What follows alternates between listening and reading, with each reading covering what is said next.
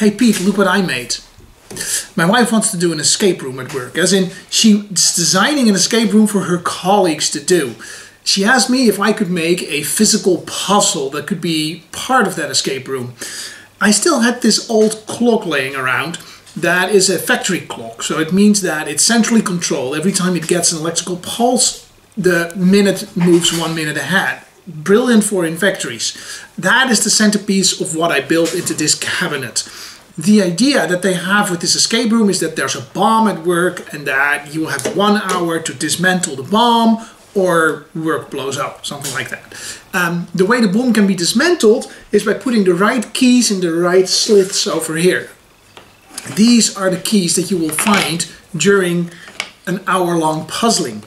Um, and then you have to put them in. I'm going to shovel them a bit so that the people that might going to do the escape room actually don't know uh, which one goes where. At some point you're going to have these four keys and then you're putting them in. You see these little LEDs here. Um, they're blinking when there's nothing there. As soon as you put one key in, they're going to be solid, just to indicate to you, look, something is in here. Um, when you put all of them in, it will tell you whether they are in the correct slits or not. Let's go.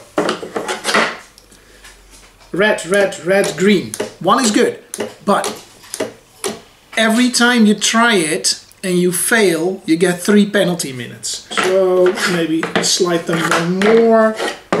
This one there, this one here, this one here. Green, green, green, green. Bomb has been diffused. Um, so, bomb has been diffused. So uh, if you want to know how I made this, if you look inside of here, you can see there's a uh, Arduino Mega over there. On stacked on top of it is an MP3 shield. Um, that allows me to play those sound effects through those USB speakers that I connected to the MP3 shield. The clock needs more than 16 volts pulses to move one minute, so I chained two 9 volt batteries together. Um, those are controlled through a relay that's connected to your Arduino.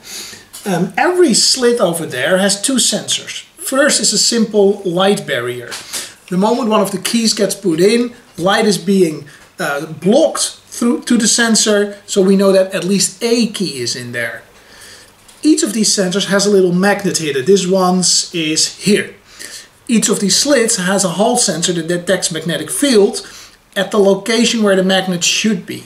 So in that way we can detect if the right key is in the right slit. So we can detect whether there's a key at all and we can detect if the right one's there. We visualize what's going on only using red and green dual color uh, LEDs.